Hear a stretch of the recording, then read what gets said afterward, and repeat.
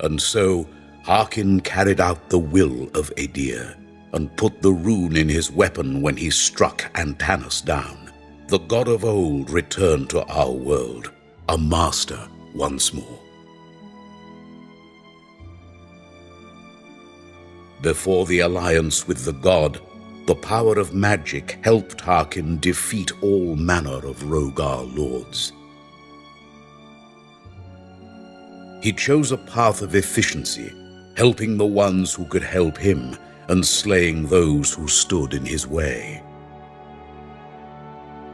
Harkyn proved himself to be a warrior, not a scholar. The secrets of this world did not interest him even when they were only an arm's reach away. He chose to turn a blind eye to Antanas's dark experiments.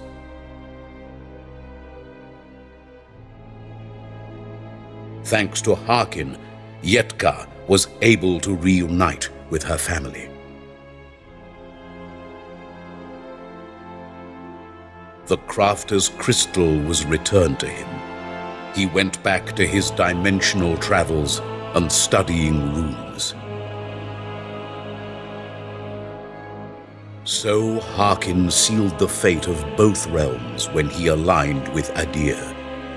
Historians of the future will forever wonder what could have been if Harkyn's choices had been different.